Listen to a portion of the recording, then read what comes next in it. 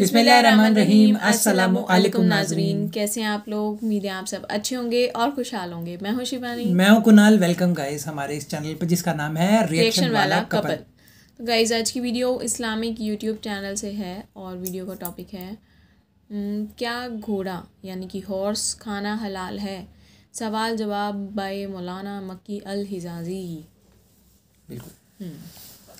तो हालाँकि जहाँ तक मेरे को पता है इस्लाम में कहते हैं कि घोड़ा ना एक जंगी मशीन है।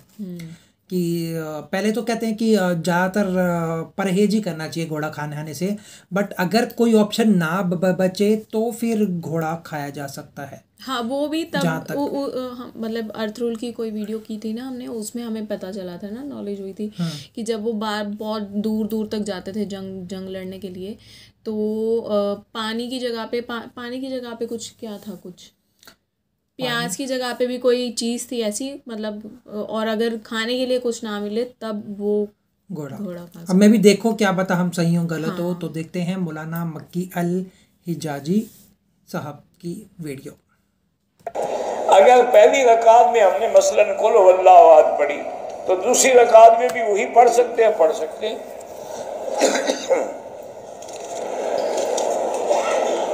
हजूर बाग ने एहराम बांधने से पहले बदन पे खुशबू लगाई है। बीबी ऐशा फरमाती है, मैंने अपने हाथों से हजूर के सीने मुबारक पर खुशबू लगाई एक शख्स की अपनी औलाद नहीं है। उसने किसी से एक बच्चा लेके पाला है। वो उसकी जायदाद का वारिस नहीं होगा। तो मतलब बनना है ना, हकीकी बेटा तो नहीं है। मोबाइल में कुरान पाक रख सकते लाउड करके रख सकते हैं। चाहे हमाम जाए, वो मोबाइल ले जा सकते हैं। हमारे एक भाई को दस फ़ीसद आँख में बीनाई है। हज फ़र्ज़ है, हज का ताल्लुक बीनाई से नहीं, अंधे भी तो हज करते हैं अगर सीयत है, तंदुरुस्ती है, किसी को साथ ले आए, उसको पकड़ के रखे।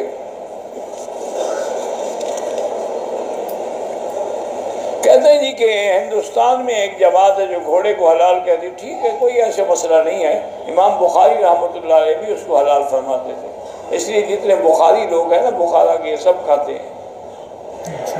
केकड़ा और झींगा, केकड़ा तो नहीं, अलबत्ता झींगा हलाल है। मैंने हजूर के नाम पे गुमराह किया, ठीक है, कोई बात अपने लिए कर दो उसमें भी तो तुम्हें मिलेगा ना।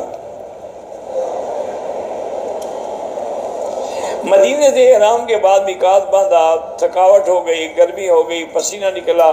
होटल में नहाने के लिए वॉशरूम के एहराम उतार के नहाने के बाद दोबारा, कोई बात नहीं, नहा लिया तो क्या हो तो जब एहराम न उतारोगे तो नहाओगे कैसे? अगर उतार दिया तो आपका उम्र उसमें बंधा हुआ था आधा तो भाग गया होगा। क्या जहलों वाली बातें क्यों मुझे तंग करते हो भाई? फिर कसम खाई हुई है। फिर कहते हैं मकी जब नाराज़ नाराज़ ना हो आदमी। भाई अल्लाह के बंदे हमाम में हर कोई जाते हैं चादर उतार देते आजकल कमोड है। हमारे देहाती लोग बेचारे कमोड यूज़ करना नहीं जानते। वो डर के मारे के पलीदी ना हो कपड़े को लटका देते हैं कोई हाथी नहीं कोई मसला नहीं। हमारे यहाँ मदरसों से बच्चों को बुला के कुरान ख़त्म कराते हैं, ये है। तुम खुद करो, घर वाले पर बैठ के पढ़ो। उम्र की नीयत तो मैंने दिल में की, लेकिन तलबिया नहीं पढ़ा। कुछ पढ़ा के नहीं पढ़ा। नहीं पढ़ा तो फिर उम्र नहीं होगा। अगर लब्बैक पढ़ा अल्हम्दुलिल्लाह पढ़ा सुबहान अल्लाह पढ़ा, अल्लाह कुछ तो पढ़ा होगा। नहीं पढ़ा तो फिर उम्र नहीं होगा। हालत एहराम में नसवार रखना डबल हराम है। मैंने अपने वालिद, जो ज़िंदा हैं, एक लाख कलमा पढ़ के वक्फ किया है, उसका अजर मिलेगा हाँ मिलेगा।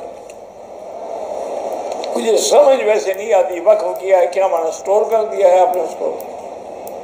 चाबी आपके पास है या वालिद के पास है? बहरहाल ये कह दो कि अल्लाह उसका सवाब तुम्हारे वालिद को दिया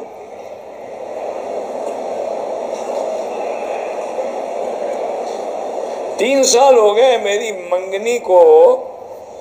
दुआ करेंगे शादी हो जाए तुम पैसे शैसे इकट्ठे करो हो जाएगी। भूखे नंगे को कौन देता है? बीस साल हो गए बच्चा नहीं हुआ।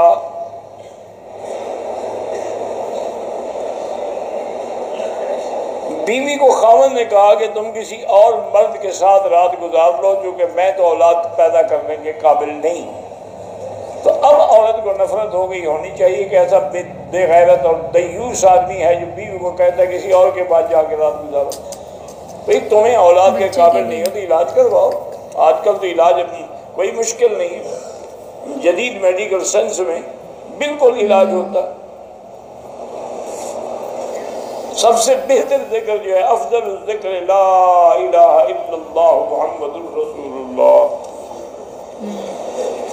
मेरी बेटी को हमल है, अल्लाह औलाद साल अता फरमाए। आपने मेरी बीवी के लिए दुआ की, अल्लाह अफजा खैर दे।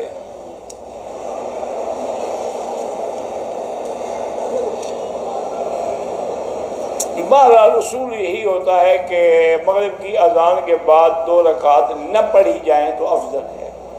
बाद कहते हैं, चूँकि यहाँ टाइम दिया जाता है, अगर इसमें पढ़ ले तो मुस्तहब की हद तक लेकिन हनफी मसलक में न पढ़ना अफजल है।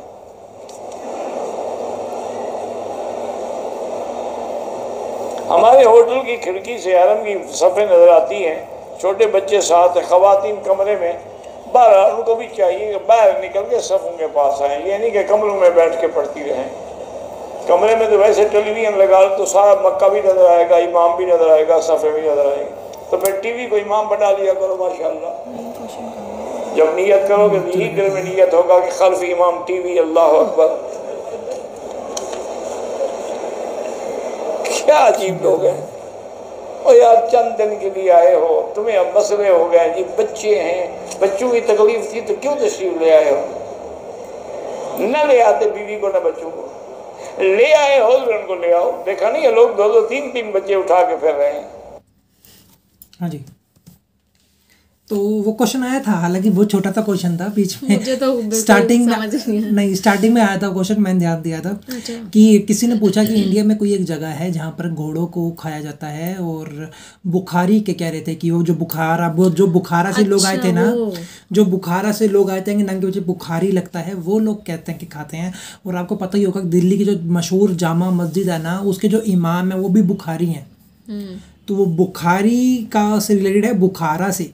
उज्बेकिस्तान या मे भी यहाँ कहीं करके कोई बुखारा करके जगह है वहाँ से ये लोग आए थे तो ये इनके नाम की वजह बुखारी लगता है हम्म। क्योंकि जगह बुखारा है हम्म।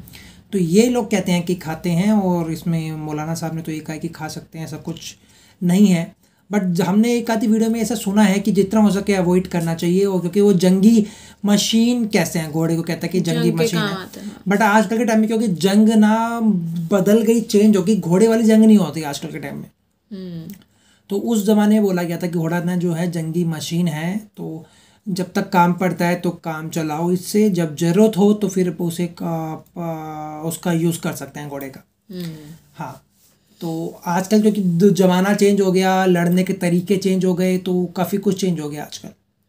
पर घोड़े आज भी काम आते हैं वो रूरल एरिया में काम आते हैं। घोड़े गधे मतलब पूरी एक ही ये लगा लो हम्म। खच्चर वच्चर ये तो बहुत काम आते हैं सामान वो अप डाउन हाँ, करने के लिए। बन जाते हैं उनके। भाई गधा अपनी वेट से डबल या ट्रिपल वो सामान हम्म। लेके जाता है ऊपर बहुत बड़ी बात है। हम्म। और या तो कहीं आप ट्रैवल कर रहे हो तो भी आप घोड़े वोड़े कहीं चढ़ाई पे ट्रैवल कर रहे हो जा रहे हो तो घोड़े वोड़ा आराम से करके जा सकते हो। और भी बहुत सारे काम हैं इनके बहुत शादियों में घोड़े काम आते हैं घोड़ा घोड़ियाँ वाकई में। तो काफ़ी यूज़ है इनका घोड़ों और घोड़ियों का काफ़ी इवन सब सबसे आपको बताओ कि सबसे महँगा जानवर घोड़ा ही है। अच्छा। इस दुनिया का सबसे महँगा जानवर घोड़ा है बट वो है रेस का घोड़ा। हाँ। दुबई में कहीं रेस का कोई घोड़ा है जो रेस लगती है। हम्म। हालाँकि वो हर हराम ही है एक तरह से। ये सब रेस वेस लगाना और इस पे पैसे लगाना। ओलंपिक्स में एक तरह से ओलंपिक की बात अलग है।